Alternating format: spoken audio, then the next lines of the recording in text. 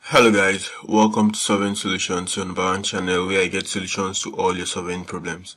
It's 9th Avenue in class again today, how have you been?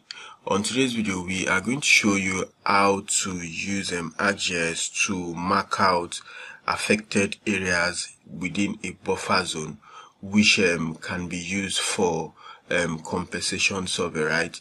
Let's say you have this road and then um, these are built up areas that are surrounding the road. So you want to create a buffer zone which perhaps is um, necessitated by a redesign of the of the road. And then the the buffer zone now um, intersects yeah. Then some built up areas are now found within the buffer zone yeah. The buffer zone now intersects what the built up area. So you want to extract those um, built up areas that are now within the buffer zone and then see how to use it for compensation survey. So the first thing now is that we need to create a buffer zone that um, will now reflect the new what the new redesign of this particular road that is in red right? Good. So now to achieve this we come to geoprocessing and then we click on buffer. Now um, under the buffer window buffer creates um, polygons around the input features to specify what um, distance right? Good so now this like an overview. So the input will be the the road projected. Then um, the output um, feature class we are going to change this um, directory. So um, let's call it um, 30 meter buffer and then the distance the distance around the input feature will be what? That will be buffered. Distance can be provided as either value representing a linear distance or a field from the input features that contains the distance to buffer each feature so um, our case is what it has been provided. So let's use 30 meters in this case. Now remember you can use this drop down to see what other units that um, you can use right? Good so we are actually using what? Meters.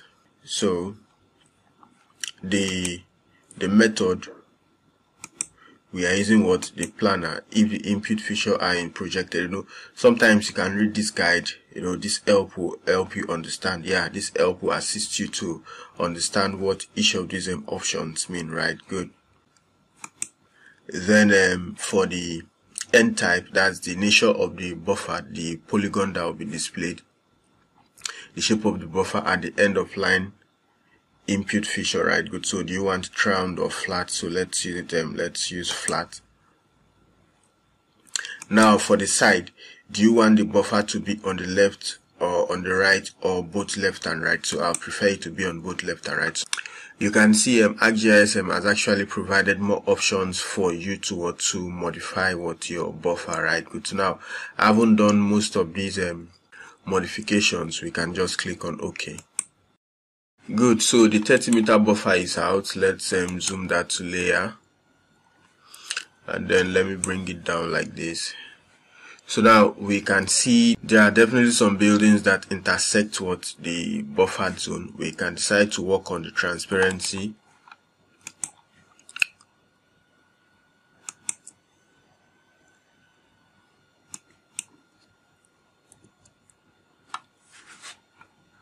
Apply okay. That is if it were still up anyway. So since we have brought it down it's still okay like this. Now the next thing is for us to automatically extract these buildings that are within what? The 30 meter buffer zone from what the built up area right? So now we come down to selection and then we use this other tool called what um, select by location Now select features from one or more target um, layers based on their location in relation to the feature in the source layer.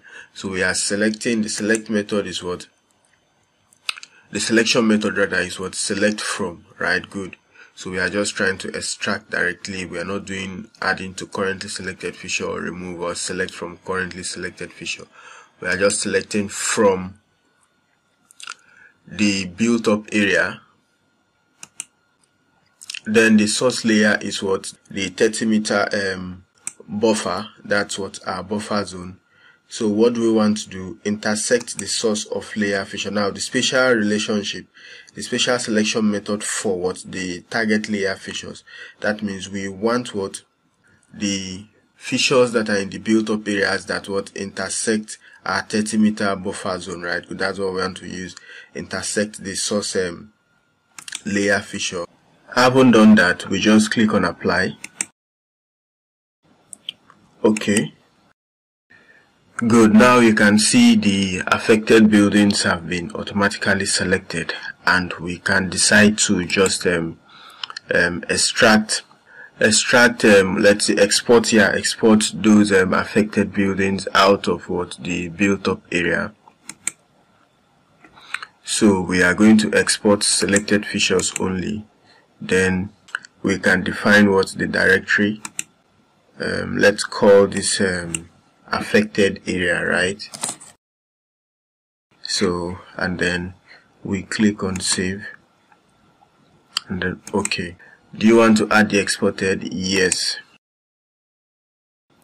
We can decide to turn it off and then we have what our affected area we have what our buffer zone and then we have what the the road layer right good so basically we have shown you how to um, extract affected areas for compensation purposes, right? Good. So now there was a road.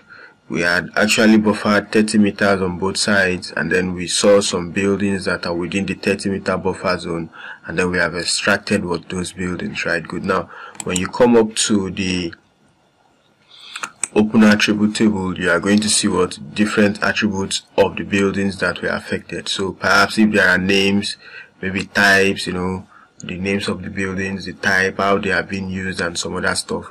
You can decide to create more information, yeah, for visualization purposes or even for um, other decision making purposes to know residential buildings, schools, maybe religious centers, you know, all of those that are affected within what the built up area. Perhaps if there's also a field for the, the extent that's the area, you can also have those information. You can decide to present them using what any other data presentation softwares or you can even proceed by using or continue by using what um, your ArcGIS for the presentation if the need arises. So thanks for coming to class. We hope we have um, provided solution to this particular GIS or engineering or surveying related problem. We are going to see you on the next one. Ensure you keep staying safe and have a very good time. Bye.